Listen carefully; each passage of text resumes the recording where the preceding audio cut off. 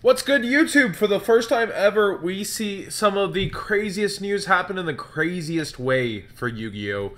And uh, Jeff Jones is at the event, and he says, Gold Series announcement, Ghost Ogre, Dark Destroyer, Maxi, Dante, Farmgirl, Forerunner, Dogfighter, Sliprider, Good Witch, Kozmotown, Mask Change, Mask Change 2, and Chimeratech Fortress Dragon. I'm also being told Archfiend Eccentrick.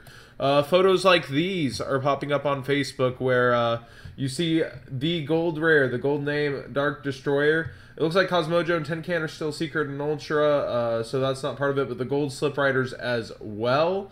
Uh, Zodiac's popping off about it. Uh, it's pretty crazy.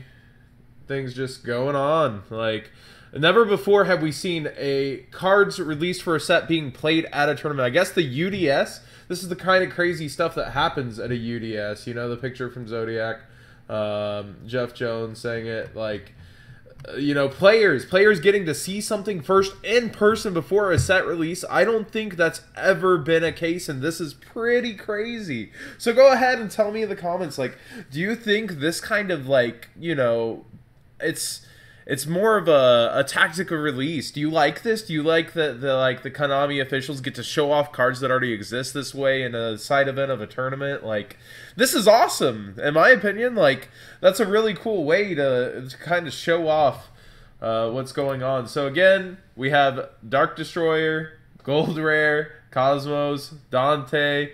Just so much happening. Chimeratech Fortress Dragon finally getting a reprint after it's like you know, a couple years from the 10. So tell me what you think. Thanks for tuning in, guys. Uh, and sorry for this being a pretty quick video without too much uh, to say. The giant cards at the the UDS were Pendulum Sorcerer and Kozmo Tincan. Don't have much other news, but it's still a pretty big wallop to add to Giant Hand with this set chock full of goodies. Thanks for watching, guys.